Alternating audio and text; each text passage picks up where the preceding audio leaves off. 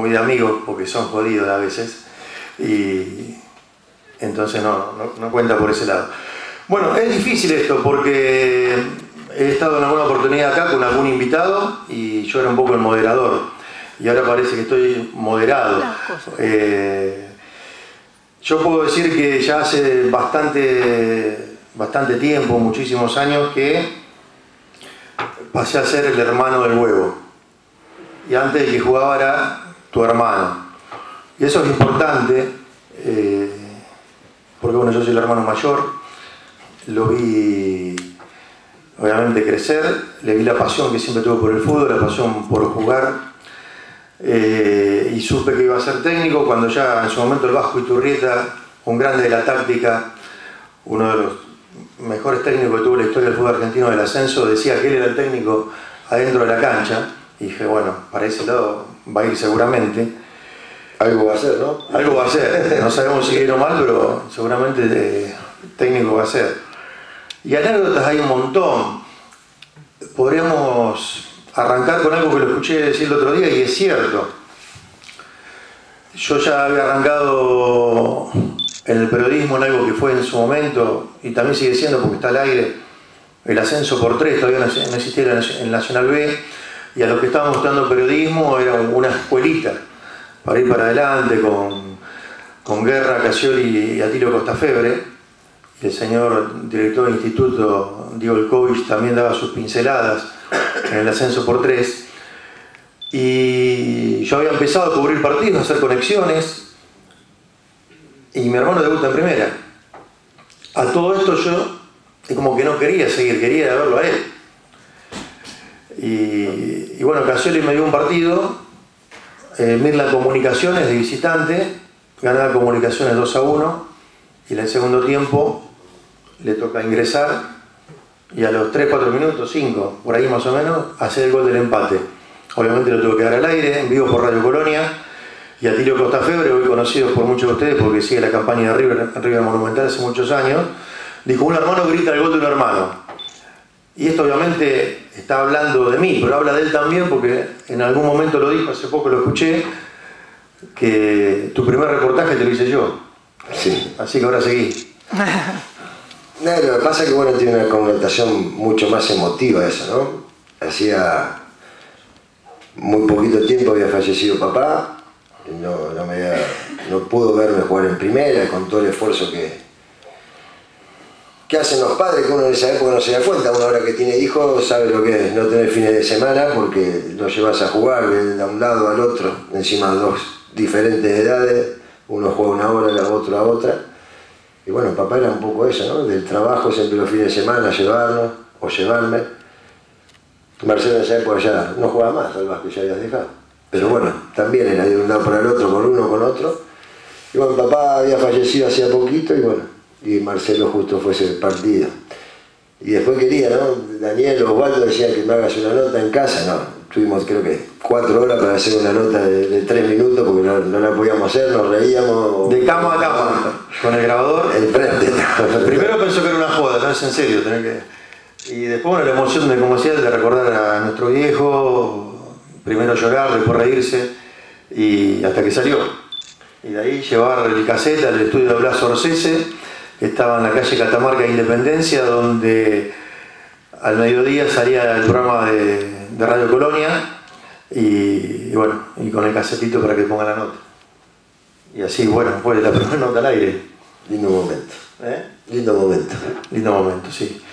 Eh, y de ahí en más, tratar de, de que me sigan dando esas designaciones, pero no, me empezaron a dar designaciones para otro lado, ya a la transmisión central, a hacer vestuarios. En ese momento relataba Costa y a dos comentaristas, Casiole Guerra, y vestuario me Marcelo Palacios y yo. Y bueno, ocho años y medio estuve ahí en el ascenso por tres, en lo que es el fútbol de ascenso, algunas poquitas cosas en el fútbol de primera, hasta que me llegó prácticamente de casualidad el tema del automovilismo. Pero el personaje es él eh, debutó ese partido y, después. Nada, y arrancamos. Pero fuiste titular enseguida. No, no fui al banco, no, todo el año terminé yendo al banco en ese equipo. Pero bueno, nada, hay cosas que, que van pasando y que uno va rememorando y se va olvidando, ¿no? La otra vez que después de 28 años apareció mi mamá en la cancha. 29. La última vez que había ido también, en el año 90, había ido a jugar y la llevó mi padrino con, mi tía a la cancha, cancha lineal era. Y dijo, nunca más voy a la cancha porque sufría mucho y a partir era prender una velita al santo, a la foto de papá y esperar que, que Marcelo la llame por teléfono después de cada partido que jugaba o después cuando empecé de técnico a ver cómo habíamos salido. Bueno, pero ese partido también tiene una connotación de que, porque quizá no quiso ir mal, la hinchada la revolvió por el aire festejando porque perdíamos 3 a 1, empatamos 3 a 3 con dos goles de él, que el técnico lo había puesto de 9 y dice, ¿cómo lo va a poner de 9 si nunca fue de 9? Y me dijo, el único que le puede pegar con las dos sin caerse. Hizo dos goles, la cancha línea inauguraba una tribunita de cemento, pero de escalones premoldeados. Midland ese día llevó muchísima gente, como siempre, hay que aclararlo.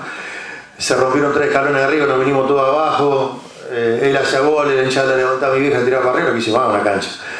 Era una alegría caótica de eso. Eh, y bueno, de ahí en más, y como dice él, cada vez que jugaba me preguntaba, yo estaba trabajando a veces en alguna transmisión en vivo y el teléfono en silencio, mi vieja llamando, lo televisaban, pero no prendía la tele para no ponerse nerviosa. Algo increíble. Y bueno, y como bien dijo, vieron quizá todo en redes, apareció en la cancha de Banfield. Sí, increíble a veces no se acuerda todavía, mi mamá ya tiene 80 con mi mamá. A veces digo, mirá esa foto, ¿no? Sí. Mirá la foto, mamá, pero bueno, son cosas que, que no tienen explicación, que, que, se siente en el momento, que, que desborda todo tipo de alegría o desborda un montón de, de sentimientos que una vez se los tiene guardados y no los puede expresar, ¿no? Y hay momentos que, que se aparecen y que, bueno, uno saca todas esas cosas de adentro, los recuerdos que le vienen del esfuerzo, de un montón de cosas.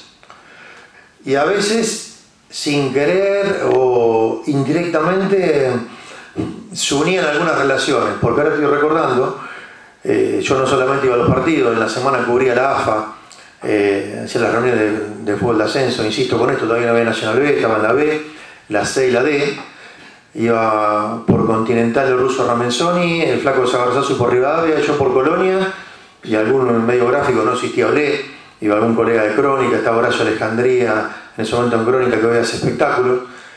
Y claro, conocías dirigentes, dirigentes que en la semana por ahí le decía los, los jefes de la transmisión, fíjate si no consigo una línea telefónica, no había celulares, ¿con quién tenemos que hablar? Entonces, pues el fin de semana veías al dirigente que hablabas en la semana, o si tiene algún aviso, una carnicería amiga para pagar los gastos, siempre se hablaba. Y esos dirigentes que quizás eran jóvenes, yo por ahí tenía 20, 20 y pico años, yo tenía 30 y pico, después tuvieron 50 y pico y fueron presidentes, tesoreros o dirigentes comprados algún club donde él fue a dirigir. Y cuando llegaba le decía que yo, Luján, Flandria, yo a tu hermano lo conozco de APA. ¿No? Lo empezaban conociendo por mí. Menos mal que no me mandé ninguna. ¿no? Es verdad, es verdad eso. Pero contar a la cancha de la Ferrere cuando un gol que tenía que ir a la comisaría. Ah, sí, bueno, esa es puramente mío. Eh, la comisaría estaba a 6-7 cuadras, no había teléfono, había que hablar de la comisaría. Bueno, la previa, das las formaciones, te volvés a la cancha, empezó el partido, gol de Morón. Morón La Ferrera, un clásico, se odiaban, se odian todavía. Voy a la comisaría, no, pasa por acá. El, el teléfono, esos negros viejos a disco, el despacho del comisario. El comisario sentado ahí, mirando te marcaba, yo tenía que marcar encima a larga distancia a Colonia, Uruguay. Coco Fernández me decía, ahora te mando al aire, el tipo escuchando todo. Volviendo, faltando tres cuadras, empata la Ferrer, no había visto nada, estaba volviendo. Y despelote, entra la montada, digo bárbaro, preguntando que vendía el Pancho quién hizo el gol, más o menos cómo fue, volver a dar el resultado. Termina el partido, a dar el final cuando entro al despacho del comisario, veo un pasillo y conté entre 45 y 50 hinchas de morón que le hacían pasar con las manos en la nuca y le pegaban palazos en las piernas. El comisario me mira y me dice, no hay detenidos. hubo algunos incidentes, no sé qué decir. Hubo algunos incidentes, pero bueno, el primer partido 1 a 1. Salí de ahí, no me acuerdo quién me arrimó, fui hasta Liniers y buscando un teléfono público para, entre comillas, decir la verdad. Cuando conseguí el teléfono público tenía dos fichas de larga distancia, me comí uno y cuando fui a salir se terminó la transmisión. En realidad no había detenido, porque les pegaron un poquito y lo largaron enseguida. Pero con esas cosas eh, te la da, no sé, no, se puede explicar en un aula, ¿no? es el, campo de acción. Eso y otras cosas más que me pasó en el fútbol de ascenso tratando de, llevar la información, entre comillas me simplificó lo que vino después.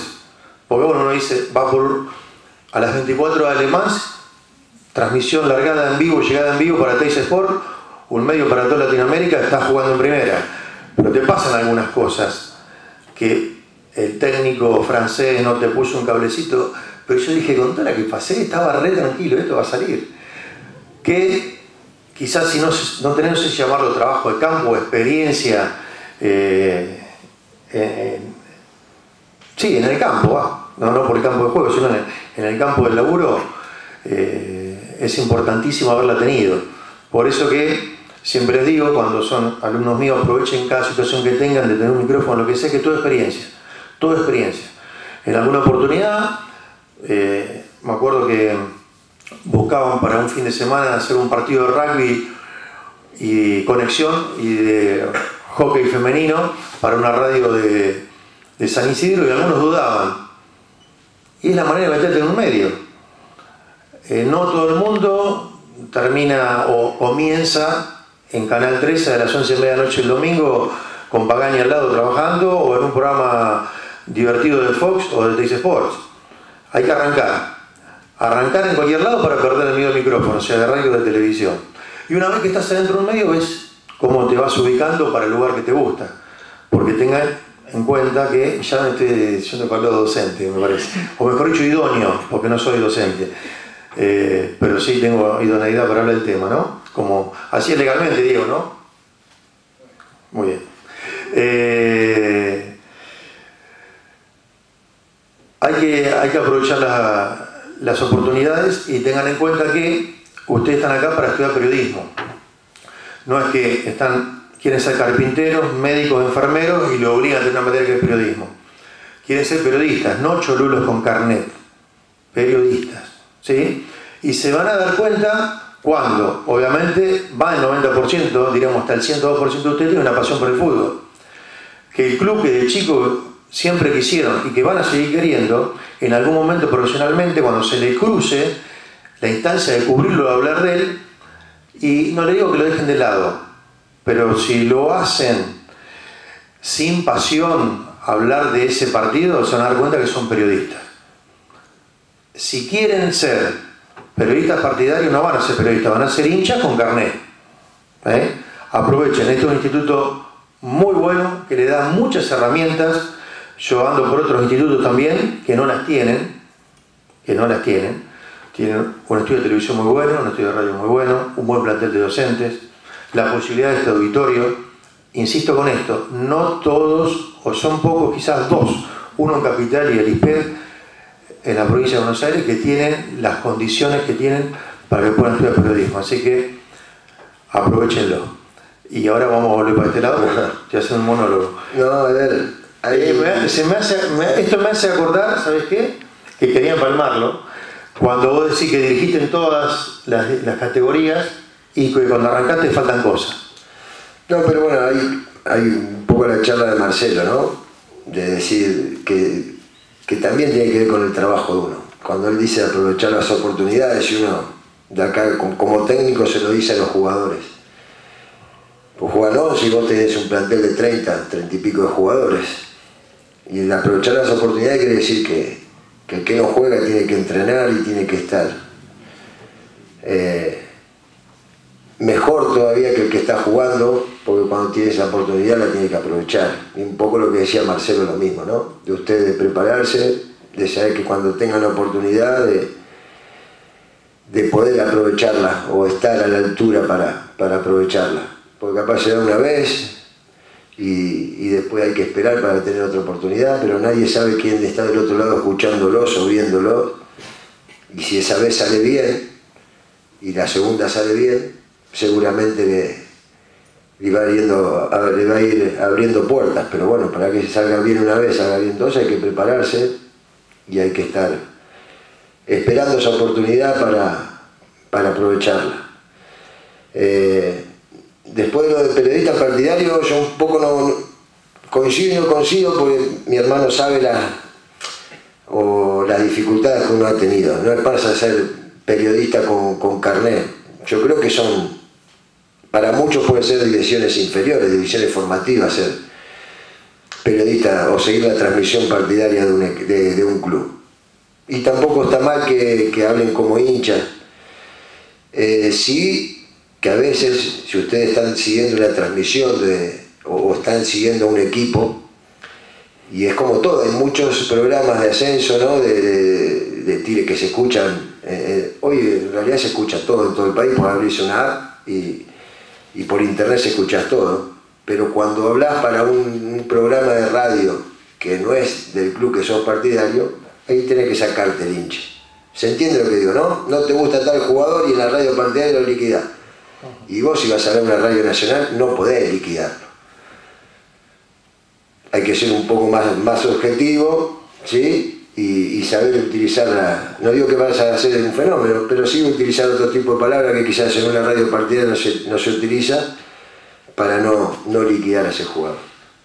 Y en cuanto a lo que también un poco lo de Marcelo, de lo que decía de, del hincha y separarse, separarlo. A mí me ha pasado como técnico, bueno, ya lo dijo Marcelo, ¿no? Somos criados en Midland, desde chiquito criamos allá dentro en el club, más mi hijo mayor ayer cumplió 12 años y se lo hice en el club la, fiesta a los 12 años. A mí me tocó como ser dirigiendo excursionista enfrentar a Midland Midland asciende de la D a la C, se arma el fixture, me toca la segunda fecha del campeonato jugar con Midland. Digo, bárbaro. Ninguno pelea el campeonato, ninguno pelea el descenso, terminaba la primera rueda y en diciembre se jugaban las otras, las tres primeras fechas de la primera rueda, o sea que en diciembre ya lo había enfrentado a Midland. Nosotros con ese excursionista llegamos puntero con Barracas, perdimos el partido de desempate en cancha de, de Atlanta, me acuerdo, se vuelve a armar reducido. Mira, había quedado octavo, me parece, jugaba con Defensor Mío Zárate, que había quedado tercero en Zárate, nosotros jugamos con San Miguel de local. Nosotros pasamos, Midland gana en Zárate. Se, habla, se, vuelve a armar la, la tabla del torneo y me toca enfrentar a Midland en el reducido. Yo estaba sentado en el banco y veía el techo de mi casa. El único partido creo que, que dirijo, que estuve sentado en el banco, no me paré de dar nunca indicación, nada. Empatamos ahí, después ganamos en excursionista y lo dejamos. Pasó excursionista. Y es un poco también lo que decía Marcelo, era mi trabajo, era defender lo, que uno tanto quiere, lo que uno tanto eh, o ilusiones tenía en su momento para, para seguir creciendo o estar quizá hoy teniendo la posibilidad de volver a dirigir primera división. Entonces un poco eso enlazado ¿no? a, a lo que decía Marcelo, del, respeto a la profesión, del cariño y de saber distinguir los momentos de hincha y de periodista, ¿no? de, ese famoso ¿no? carnet con Cholulo, ¿cómo que dijiste? Cholulo con carnet. Y en eso yo voy a disentir con vos. Eh, se puede ser periodista y trabajar en medios partidarios, pero periodista partidario es hincha. Vos podés ser periodista y hablar mal de un jugador en todos lados, con respeto y con fundamento. Vos podés decir, este jugador hace rato que viene rindiendo mal, porque el partido anterior, supongamos como un marcador de punta, lo desbordaron varias veces, no pone como, usando una palabra antigua, injundia para jugar, lo que sea. Otra cosa es ir al insulto, porque yo he escuchado transmisiones partidarias, he escuchado programas escucho todo y sé del ascenso más porque es mi pasión el fútbol de ascenso. Yo estoy hace 26 años, hizo en marzo automovilismo y mi pasión es el fútbol de ascenso. ¿sí? Y todo lo que puedo leer lo leo, lo escucho, transmisiones, veo un papelito colgado de FM de, un barrio, de un equipo de la D o de la B y trato, si puedo en algún momento, escucharlo. Por ahí algún conocido o lo que sea. Me encanta, es una pasión. Y, y hay periodistas que son duros y que hace Ernesto Sechi,